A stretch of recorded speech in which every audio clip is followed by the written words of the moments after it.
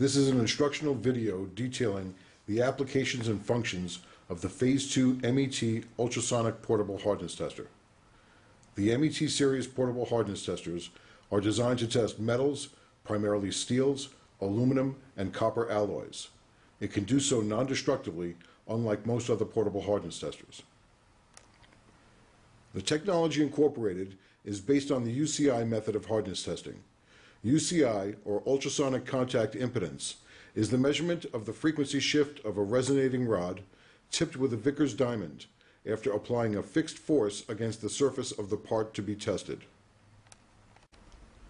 Certain workpiece parameters must be met for the UCI system to work properly. The minimum radius for a test is 5 millimeter. The workpiece needs a minimum thickness of approximately 1 millimeter. However, in the field, without support, that number may vary up to 2 millimeter depending on the material being tested. Coatings or layers need to be 10 times the indentation depth of test, which will vary depending on the load force used and approximate hardness of material. Should you have questions on this parameter, please contact Phase 2 directly. The next parameter is surface roughness. If you are testing precision machine parts with a surface finish of better than 100 microinches or 2.5 microns, then you can use the 1.5 kilogram load probe for most of your applications. For those surfaces which are rougher, the 5 kilogram load has an approximate maximum of 4 microns or 160 microinches. To clarify which model has which probe, the MET-U1A uses the 1.5 kilogram probe, while the MET-U1A 50 uses the 5 kilogram probe. Now let's move over to the operation of the hardness tester and see how easy it is to utilize the different functions, taking tests, and obtaining results. To begin, insert the plug of the probe into the correct socket on the tester, carefully threading down. Press the bottom arrow on the tester to power up. The screen will show connecting sensor, then recognize the sensor being used, in this case ultrasonic sensor. The main interface screen brings you up in test mode, and from there it is easy to navigate throughout the menu. Hitting the up arrow button, you now see the word test flashing with arrows left and right. Hit the up arrow again, and this will bring us to scale. You will now see the word scale flashing with arrows. Left of this is the scale now being used, probably HRC, used for steels. If you press the right arrow button, you'll scroll through to HRB. This is used for aluminum. HV again is used for steel. HB, which is Brinell, is also used for steel. Continuing to scroll right, H0 H1, 2, and 3 are all open programs. We can build any scale for metals as long as we have two reference blocks or workpieces of the same material being tested with a known value, both high and low on the scale. This programming is easy and takes no more than five minutes. The operator can easily make programs if necessary with our engineer over the phone in no time at all. Clicking down after the confirmed scale is selected will allow you to test in that scale.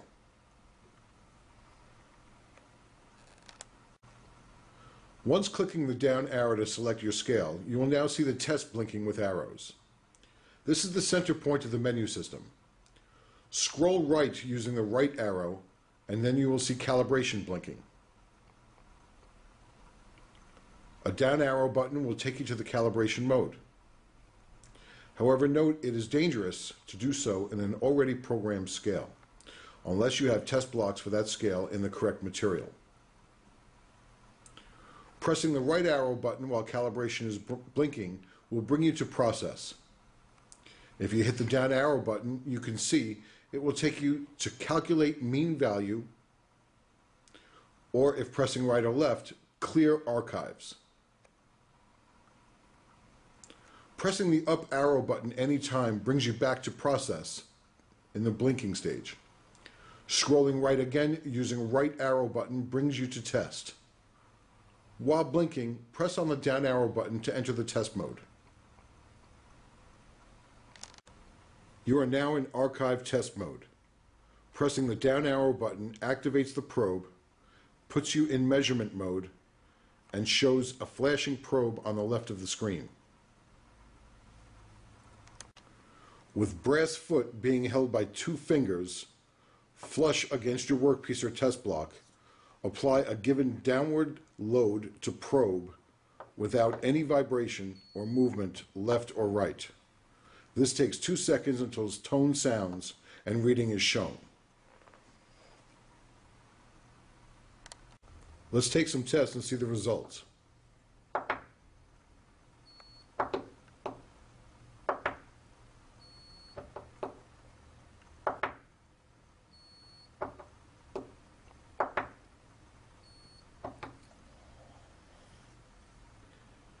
Pressing the down arrow button after five readings will give you an average.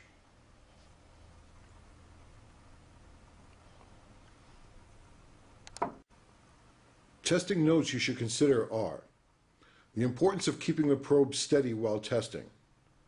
This will take a few minutes of practice to get the load force correct without any vibration. The brass foot can be removed if necessary to take tests in tighter areas. Make certain you are not in calibration mode unless you are purposely calibrating or recalibrating a scale.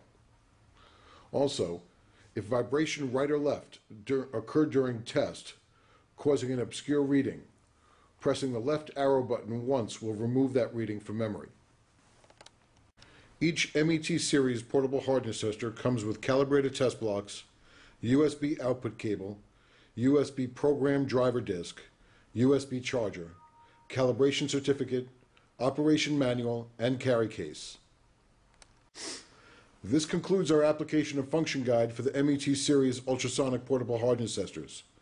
Should you have any questions, please do not hesitate to contact us at 201 962 7373.